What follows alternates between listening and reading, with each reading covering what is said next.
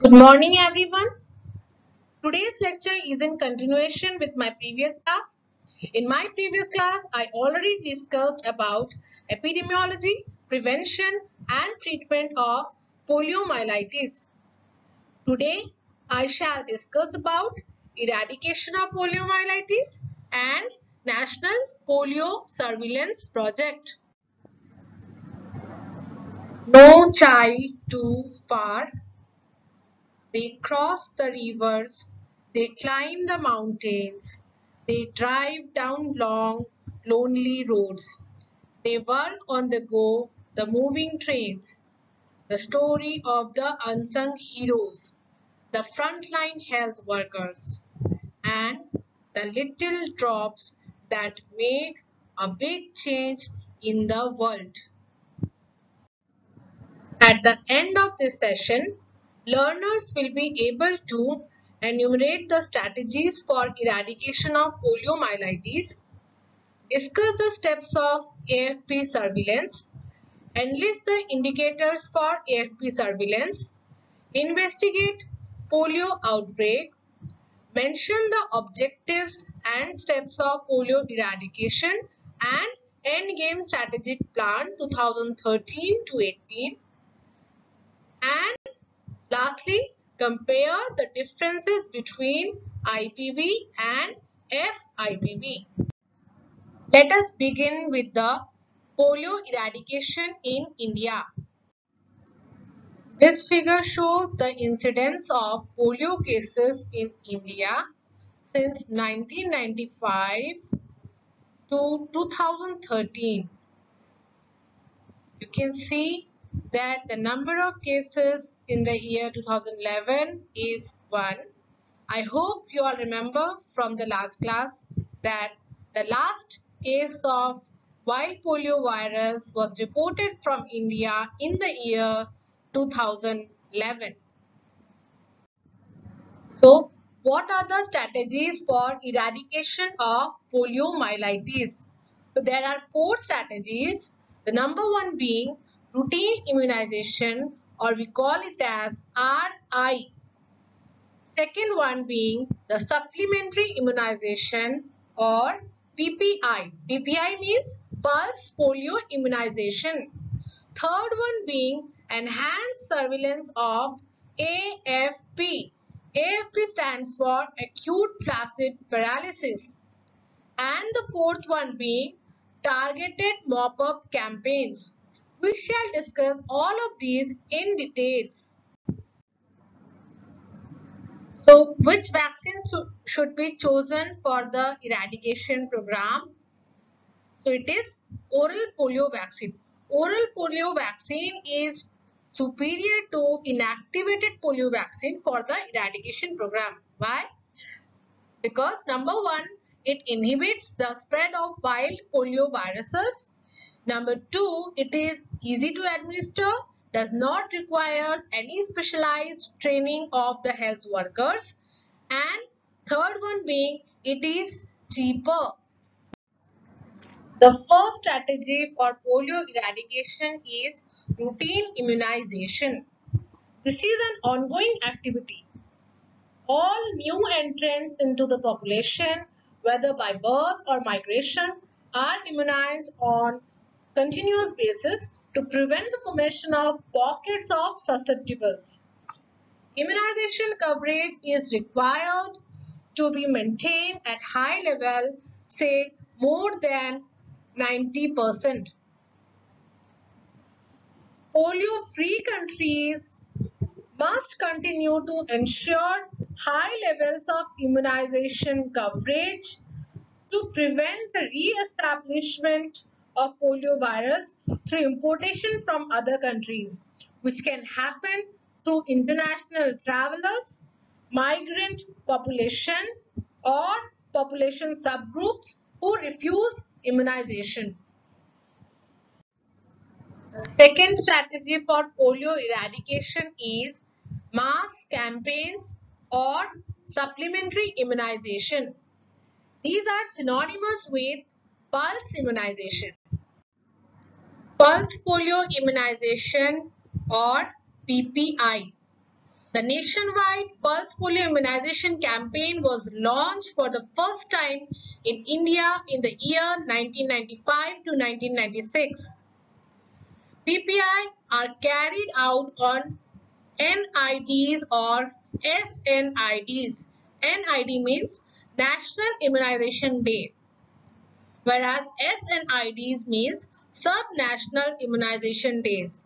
On the National Immunization Days, PPI is being given to all the eligible children of a country, while on the Sub-National Immunization Days, PPI is being given on some states where the risk of transmission is very high.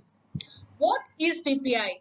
PPI is actually sudden simultaneous mass administration of oral polio vaccine on a single day to all the children of 0 to 5 years of age regardless of previous immunization status. So what is the principle behind this? Is that it helps in flooding the environment with vaccine virus, thus replacing the wild polio virus. The, every child in the most susceptible age group is protected against polio at the same time as a result of which the virus is unable to find a host on which its survival depends. So generally in a year, two rounds of PPI are conducted with a gap of 4 to 6 weeks apart and it is done during the low transmission season of polio that is from November to February. To ensure 100% coverage, house to house visits are done from day 2 to day 5. So remember, pulse polio immunizations are not to replace the doses received during routine immunization.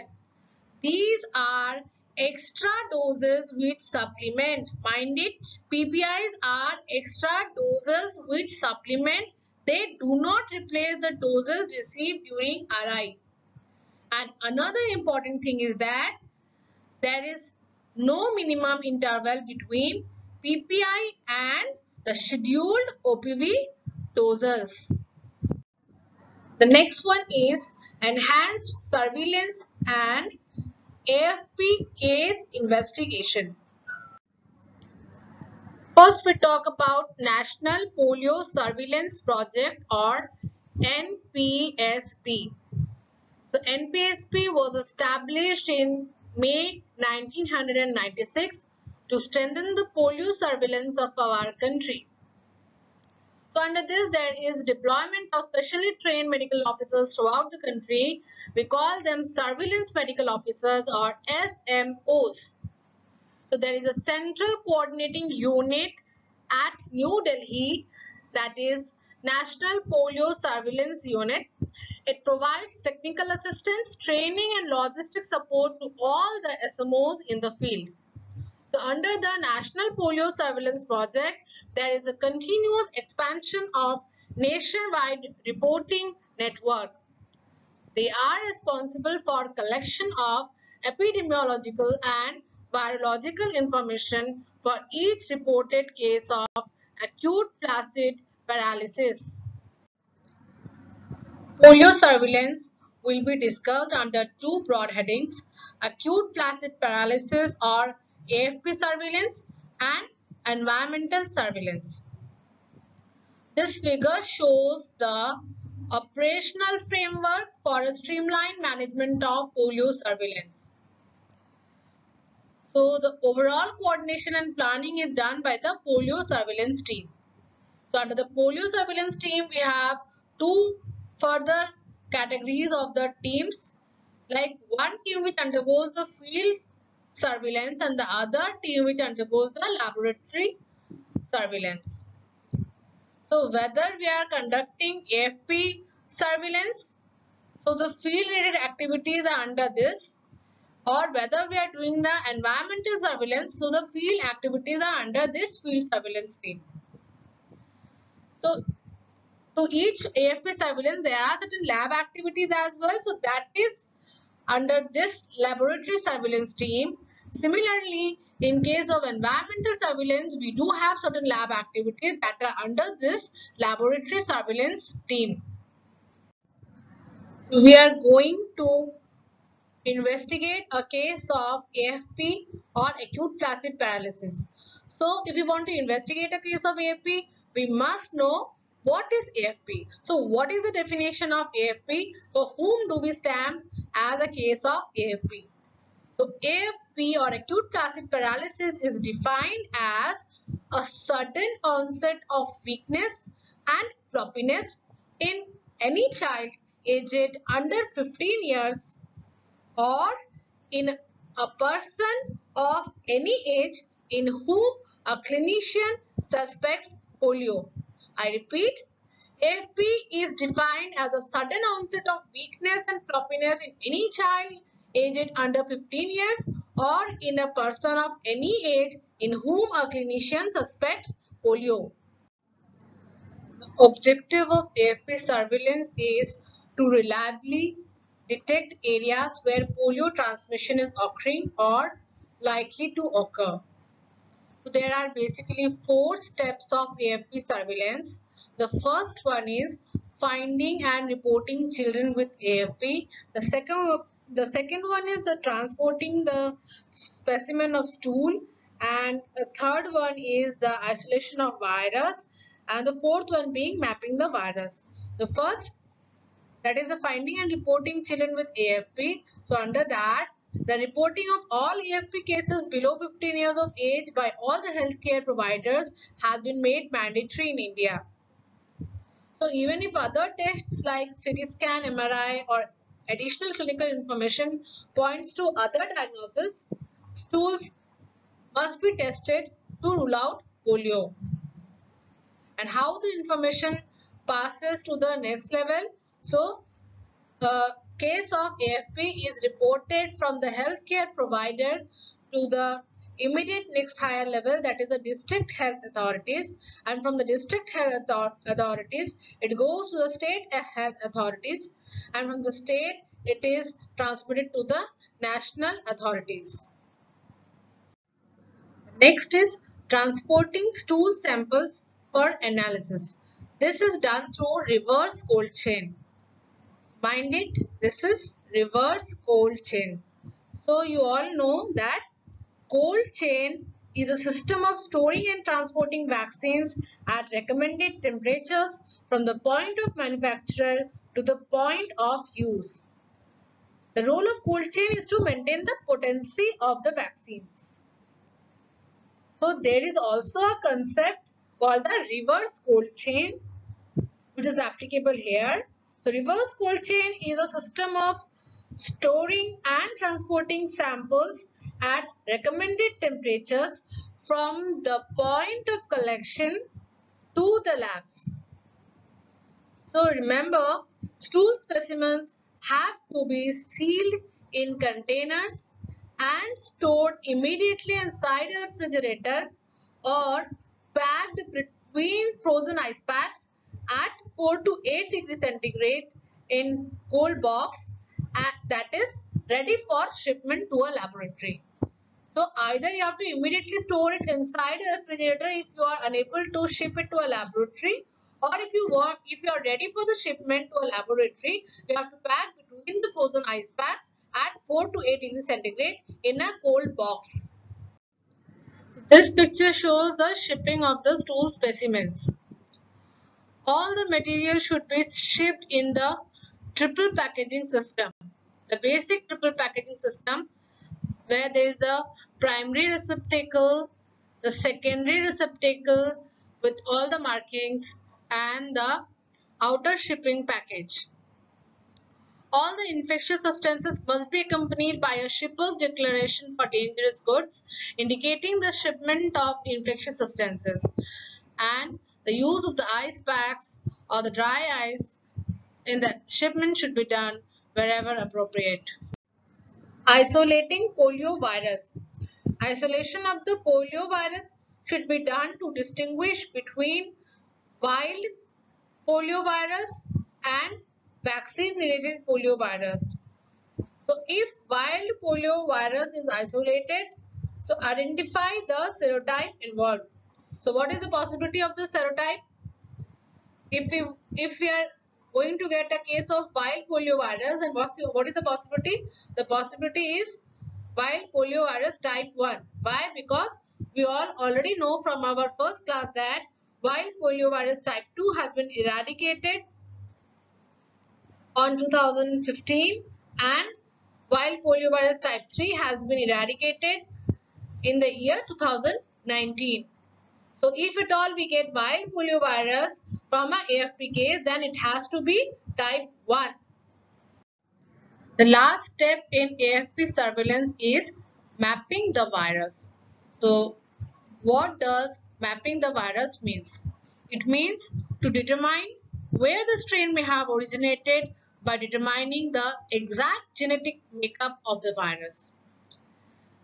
To identify what is the source of importation of polio virus, whether it is from cross-border, and to take the appropriate immunization strategies to prevent the further spread of polio virus. When we have done the AFP surveillance, now we are supposed to know whether the surveillance that has been done is of minimum quality or not.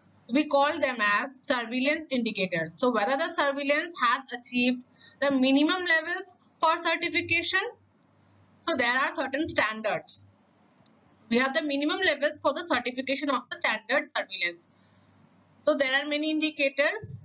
The first one being the completeness of reporting. So what does that mean? It means that at least 80% of the expected routine AFP surveillance reports should be received on time. So it should be inclusive of the zero reports. Uh, what do you mean by zero reports? Means generally what happens even if there are no AFP cases, we are even supposed to uh, report it like there are no cases or nil cases. So the, even the zero reports has to be done. That is, so completeness of reporting we say that uh, at least 80% of the expected routine reports should be received on time including the zero reports. Then next is the sensitivity of the surveillance. So that means what? How sensitive is our AFP surveillance system? So if we have done the enough number of surveillance, then if we have done enough of it, then what we expect? We expect that there should be at least one case of non-polio AFP amongst 1 lakh population investigated in the population who are less than 15 years in an year. So in the regions where polio is endemic, that means there is a uh, increased transmission in that region to ensure even higher sensitivity, this non-polio AFP rate should be further higher that is it should be 2 per 1 lakh population means if there are more number of AFP cases in the region then we have to increase the surveillance. We have to do more number of surveillance. We have to investigate more number of cases and uh, based on that definitely we are going to get more number of the non-polio AFP cases. So what does the meaning of non-polio AFP means? The causes of acute flaccid paralysis which are not due to polio. So what it could be, it could be Guillain-Barré syndrome, it could be transverse myelitis, it could be trans, uh, traumatic neuritis. So there can be many other causes. So remember one thing, all the children with acute flaccid paralysis should be reported and tested for wild polio virus within 48 hours of onset. So even if the doctors are confident on clinical grounds that, the child does not have polio, they must be reported and tested for the wild polio virus within 48 hours of onset. So to explain that how sensitive should be our uh, sensitivity of the surveillance, this figure has been represented with the help of fish and nets. So suppose this blue colored fish shows the non-polio AFP and the pink colored fish shows the polio AFP and this is the net. So if we have done of the and uh, this is actually representative of the hospitals or the clinics or the community so this is the environment uh, so if we have done enough of the investigations if you have done the if our surveillance system is sensitive enough then we are going to expect at least a case of non-polio AFP when we have screened 1 lakh population uh, who are less than 15 years uh, in an year. So that much sensitive should be our system. So because in the net it is not like that we only we are only going to get the uh, polio cases. So because AFP we are going to uh, investigate the case based on the AFP case definition. So AFP case can be polio as well as non-polio. If our system is sensitive enough, then we are going to get non-polio AFP as well. And so we have got such rates. Means uh, we can know that yes, we have done the surveillance, we have done the investigation to a certain minimum standards levels. So that is sensitivity of surveillance. Next is the completeness of case investigation. So what is that? All the AFP cases should have a full clinical and biological investigation with at least 80% of the AFP cases having adequate stool specimens collected. So, completeness of case investigation means all the AFP cases should have a full clinical and virological investigation with at least 80% of AFP cases having adequate stool specimens collected. So, now the next question is what do you mean by adequate stool specimens collected? adequate stool specimen means that two stool specimens should be collected. They should have a sufficient quantity, sufficient quantity is say 8 to 10 grams uh, for the laboratory analysis and these two stool specimens should be collected at least 24 hours apart and they have to be collected within 48 days after the onset of paralysis. Not only this, they have to be sent to the laboratory maintaining the reverse cold chain within the 72 hours with proper documentation. So what is adequate stool specimens? That means two stool specimens of sufficient quantity for laboratory analysis are collected at least 24 hours apart within 48 days after the onset of paralysis and arriving in the laboratory within 72 hours by reverse cold chain and with proper documentation. That is completeness of case investigation. The next is completeness of follow-up. So, what is that? That means at least 80% of AFP, AFP cases should have a follow-up examination for residual paralysis at 60 days after the onset of paralysis. So, how much should be the completeness of follow-up? So, we expect that if we have done the follow-up properly, uh, so how do we know whether how much complete is our follow-up? So then the expectation is that for the minimum level, the minimum level for the certification of standard surveillance, at least 80% of the AFP cases should have a follow-up examination for residual paralysis at 60 days after the onset of para uh, paralysis.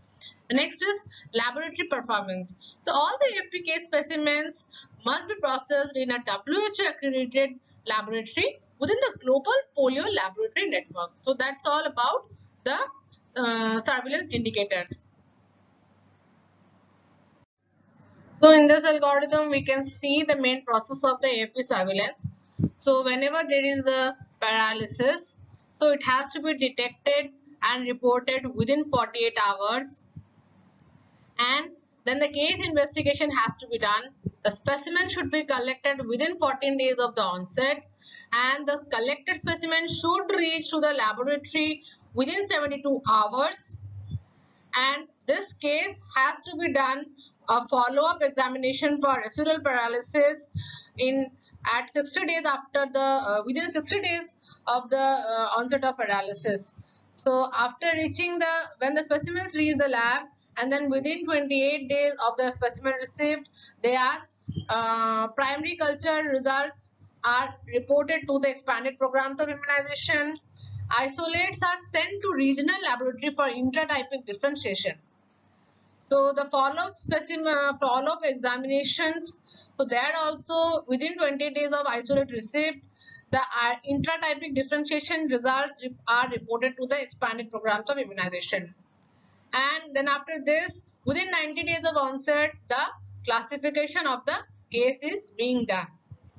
So this much we have to remember that uh, within uh, whenever there is a paralysis we have to investigate uh, the case. We have to report it within 48 hours. And uh, within 48 within 14 days of the onset of uh, paralysis the specimen has to be collected. And they should be sent to the laboratory within uh, the 72 hours and a follow-up examination has to be done within 16, 60 days of the onset of paralysis to look for residual paralysis we have completed AFP surveillance under polio surveillance. Now we shall discuss about environmental surveillance. What is environmental surveillance? Environmental surveillance is the routine collection and testing of environmental sewage samples from designated locations draining the targeted populations. So testing the sewage or the other environmental samples for the presence of the polio virus. So even if there are no cases of paralysis, so whether the wild polio virus is there in the circulation or not, whether there is a wild polio virus infections, so that we can see from the collection of the water or collection of these sewage samples. Because we all know that the polio virus can survive in water and feces for long. So that we have discussed in our first class. So in this picture you can see an example of the environmental polio surveillance being done in three open sewages in Mumbai. The F ward, G ward and M ward. So, so that's the picture which depicts the how the environmental polio surveillance is being done. So far we have already discussed the strategies for polio eradication. The three strategies have been already discussed. The first one being routine immunization. The second one being pulse polio immunization or the supplementary immunization activities. Third one being the enhanced surveillance and AFP case and investigation. And the fourth one or the last one is the targeted mop-up campaigns. So what is it? So it is actually mopping up. Mopping up means we have to go for door to door. So there is door-to-door -door immunization in the high-risk districts where wild polio virus is known or suspected to be circulating. So we are trying to mop up each and every door to look for whether there are any left out left outs and we are trying to immunize them in those areas where there is a high risk of the polio transmission. So in India, three rounds of mopping up with two weeks gap between two rounds have been used in the last few years. So that completes our strategies for polio eradication. What to do if there is a polio outbreak in your locality? So how do we respond to a polio outbreak? Now we shall learn that. So even if there is a single case of polio, then that is going to be an outbreak or epidemic. So we have to begin the epidemiological investigations. We have to go for the active search of all the cases. Sample of the feces from all cases or suspects should be collected and they should be sent to the laboratory for virus isolation within 72 hours maintaining the reverse cold chain. Paired sera have to be collected. The first one at the clinical suspicion of paralytic polio and the second one during the convalescence. Remember, if we found or if we get a rising titer of the polio virus neutralizing antibody, then it is confirmatory. Now in this slide we can see what are the checklists for investigating an outbreak and what it contains. Under the international health regulations, polio is subject to international surveillance.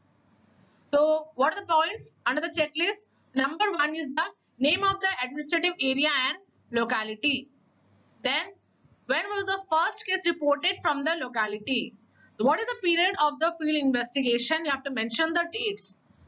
Then how many number of paralytic cases have been detected based on clinical grounds? How many have been laboratory confirmed? What is the type of virus isolated? How many deaths are there from paralytic polio?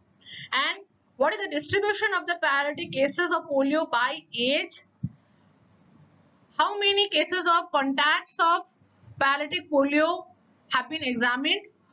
whether household contacts or others, then brief description of the field investigation and to mention the history of the previous vaccination practice in the locality, including the dates of the last community vaccination program and the type of vaccine used, and finally the name of the principal investigator and laboratory.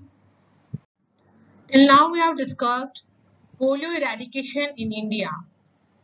We all know that India, the polio virus, the last case was seen in the year 2011 and polio was declared to be eradicated from the whole of the WHO Southeast Asian region on 27th March 2014 which we discussed in our last class. But still there are three countries in the world who are still endemic to polio. We discussed that is Pakistan, Afghanistan and Nigeria. So there is a global plan that is called as Polio Eradication and End Game Strategic Plan 2013 to 2018. So what is the aim of the Polio Eradication and End Game Strategic Plan 2013-18?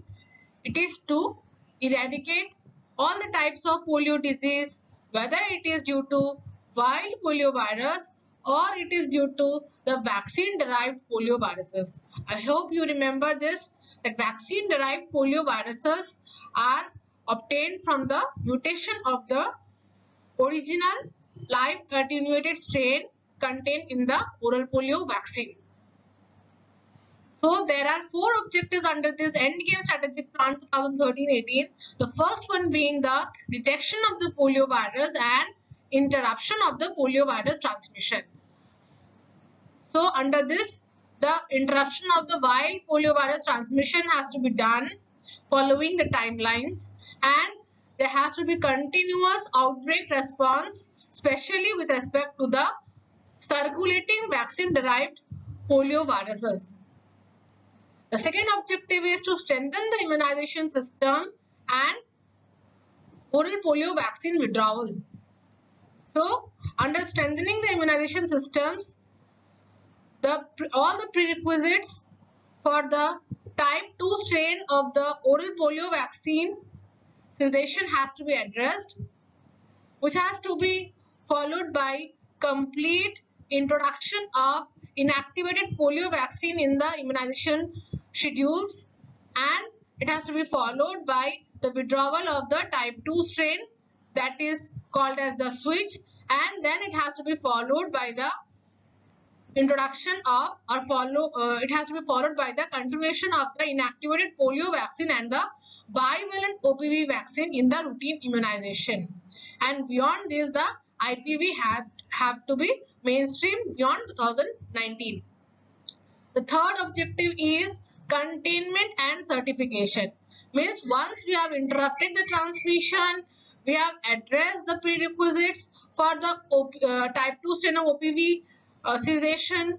Now we should plan for the containment of the polio virus. What it means? It means that so now when there are no polio virus but then still there can be uh, some strains present in the research labs in the uh, manufacturers where the vaccines are being produced. So even there they have to be con uh, contained and thus um, they have to be destroyed because uh, there can be biosafety uh, issues.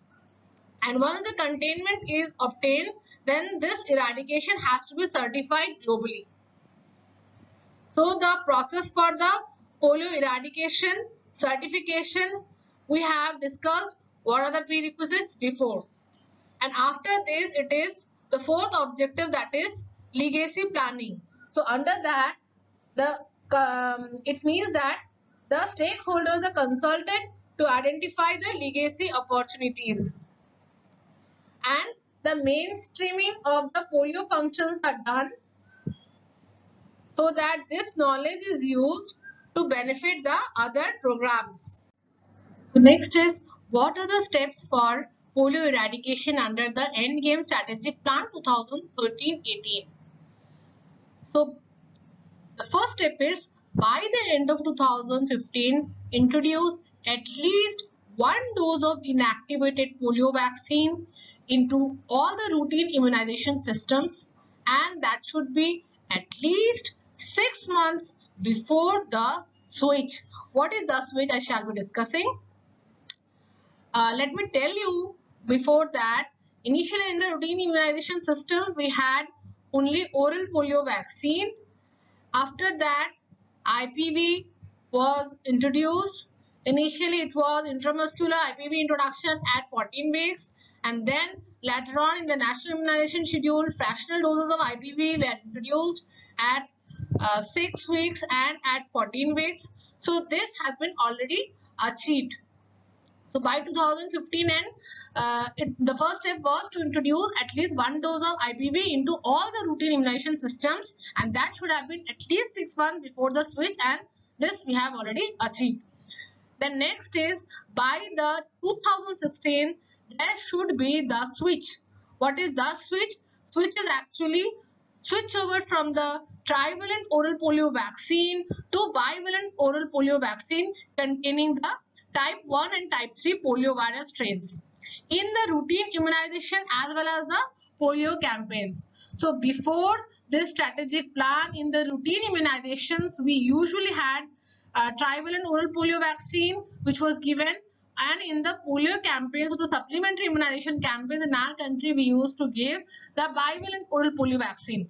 But after this endgame strategic plan because type 2 strain was not seen after 1999 and it was declared to be eradicated in the year 2015 so this uh, plan was thought of and in the year 2016 it was uh, proposed that the switch has to be done globally from trivalent oral polio vaccine to bivalent oral polio vaccine whether it is in routine immunization or it is in the polio campaigns. And then by the end of 2019 to 2020 there should be the plan for the eventual withdrawal of all the oral polio vaccine. Now, this has yet not been achieved. Now, you will be very much surprised that till now we were discussing that oral polio vaccine is superior to IPV for the control of epidemic. But the problem is previously it was huge number of cases. And now we have very less number of cases. We are towards the eradication. So even if there is one case of uh, even if there is a one case of one outbreak and uh, that is either due to wild polio virus or even due to the circulating vaccine derived polio viruses so that is going to be an epidemic. So oral polio vaccine can cause that circulating vaccine derived polio viruses that further can lead to outbreak. So we need to withdraw this oral polio vaccine because it has got the live attenuated strain. So instead of that, IPV has to be used. So that was already introduced in the immunization system. So here in this figure, we can see a schematic description of the technical rationale for use of at least one dose of IPV that is inactivated polio vaccine as a part of the endgame strategy. Why at least one dose of IPV has to be introduced before the switch. See, when the trivalent oral polio vaccine is used in the routine immunization, then it gives protection against type 1, type 2 and type 3 serotypes that has been represented by three rings of protection against the child. You see the type 1 with the blue ring, type 2 with the red colored ring and type 3 with the green colored ring. So when there is a switch that is from trivalent oral polio vaccine to bivalent oral polio vaccine switch then the child will be protected uh, against only the two serotypes that is the blue colored ring the type 1 and the green colored ring that is the type 3 but there is the red color ring has is not there because it is the bivalent oral polio vaccine that will give the protection against only the type 1 and type 3 serotypes so uh, what will happen? The child will be predisposed. The child will be predisposed to the outbreak due to type 2 strain.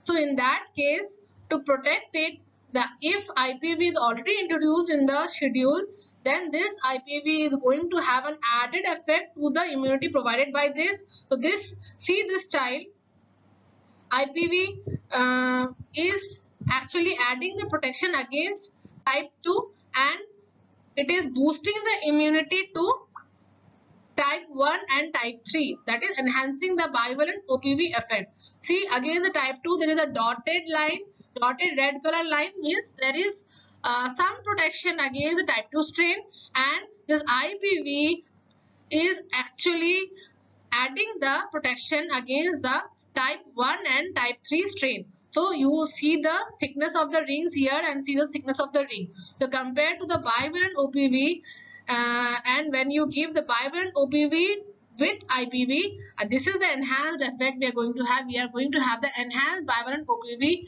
effect. The, and then if there is any outbreak, say due to the type 2 strain, then in that case we are supposed to give the monovalent uh, OPV vaccine having the type 2 strain. So in that case what protection we are going to have? The child is already having the protection um, uh, offered by the bivalent OPV vaccine having the two rings of type 1 and type 3 protected against that and the monovalent oral polio vaccine type having the type 2 strain. So there they are getting this dotted black colored ring which shows the protection against uh, this type 2 strain provided by this uh, uh monovalent OPV 2 vaccine. But if IPV is already there in the schedule then this bivalent oral polio vaccine and the monovalent oral polio vaccine type 2 effect is going to be enhanced and that is going to facilitate in an outbreak. You can just see to this, uh, this is added. You just add this with this. So what do we get? The thickened protection against type 1, thickened protection against type 3, then the uh, protection against type 2 strain which is provided by the IPV and the black colored dotted ring which is uh, the protection provided by the monovalent OPV type 2 vaccine which is used during the outbreak. So uh, when there is uh, an outbreak the introduction of the IPV which is if which which if done uh, already in the immunization schedule then this is going to not only protect against the occurrence of any outbreak uh, due to type 2 strain uh, in addition to the protection against type 1 and type 3 and it also facilitates in any outbreak control due to the type 2 strain. In this slide we will be discussing the switch. So on 25th April 2016 the National Switch Day was observed that is on that day the trivalent oral polio vaccine was completely replaced by bivalent oral polio vaccine. The trivalent oral polio vaccine having the 1, 2 and 3 serotypes was completely switched over by the bivalent oral polio vaccine having the type 1 and type 3 serotype. The 2 is removed. So the IPV is introduced before the switch. So now what we have previously we had IPV and the trivalent oral polio vaccine and after the withdrawal of the type 2 strain we are going to have IPV as well as the bivalent oral polio vaccine. So the risk of vaccine associated paralytic poliomyelitis that is VAPP and circulating vaccine derived polio viruses to type 2 component of oral polio vaccine now actually outweighs the benefits of oral polio vaccine. So OPV have to be removed in a phased approach. Beginning with the removal of the type 2 polio virus which has been done all over our country on already achieved on 25th April 2016. Mind it, India has introduced IPV in the National Immunization Schedule Program from 30th of November 2015 and fractional IPV was introduced from April 2016 and the switch was obtained nationally on 25th April 2016. Now let us have a look into the comparison between inactivated polio vaccine and fractional inactivated polio vaccine. So what is the dose in case of IPV? It is 0.5 ml whereas in case of fractional IPV it is one fifth the dose of IPV that is 0.1 ml. So IPV is IPV is given as a single dose at 14 weeks, whereas fractional IPV is given in two doses at 6 weeks and at 14 weeks. IPV is given through intramuscular injection, whereas fractional IPV is given through intradermal route. IPV is administered in the thigh, whereas fractional IPV is given in upper arms. The IPV is given through 0.5 ml auto-disable syringe, whereas fractional IPV is given through 0.1 ml auto-disable syringe. Now the question is why we have replaced IPV single dose with two doses of fractional IPV in our national immunization schedule. Are the two fractional doses as effective as a single standard dose? The answer is the two fractional doses of IPV which is given intradermally at 6 and 14 weeks produce better seroconversion rates than a single standard intramuscular dose given at 14 weeks of age. Please wait while the computer is taking updates. What happens actually when we are working too seriously in computer and all of a sudden the computer screen displays, please wait, the computer is updating. So we are also updating. There are few more updates. What's that? Till now we were discussing the endgame strategy 2013-18 and now the Global Polio Eradication Initiative have launched the Endgame Strategic Plan 2019 to 2023. The main focus in this endgame strategy is to address the circulating vaccine derived polio viruses so that the high risk communities with populations that may be under immunized are prevented. So what may be the cause of the under-immunization? That may be because of the conflicts or because there are insecurity issues or the health infrastructure is weakened. So this strategy deals with the tactics to address circulating vaccine derived polio viruses. The strategy continues to prioritize early case detection and timely outbreak response. Next is novel oral polio vaccine. It is an innovative new tool that could potentially be used to address a circulating vaccine derived polio virus outbreaks. So it is designed to provide children with same protection as the current oral polio vaccine while having less risk of mutation and causing the paralysis. The early trials of novel oral polio vaccine have shown the positive results. If further studies are successful, novel oral polio vaccine could be used as early as 2020 to prevent the circulating vaccine-derived polio viruses in communities with low immunity. To sum up, we first discussed about the strategies for the eradication of polio, the four strategies, routine immunization, pulse polio immunization, acute flaccid paralysis surveillance or AFP surveillance and targeted mop-up. Then under polio surveillance, we discussed two types of surveillance. One is AFP surveillance and the other one being environmental surveillance. Under AFP surveillance, we discussed about four steps. The first one being reporting all the AFP cases the second one, the transportation of the stool specimen. The third one being the isolation of the virus. And fourth one, the mapping of the virus.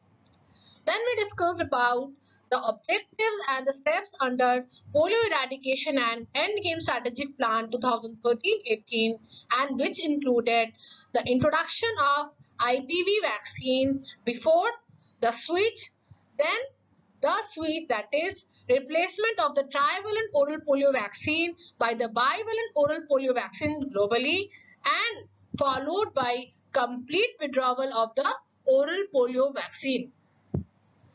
Then we studied about the updates that is the end game strategy 2019-23 by the Global Polio Eradication Initiative that deals with the tactics to address the circulating vaccine-derived polio viruses. That's all for today's class.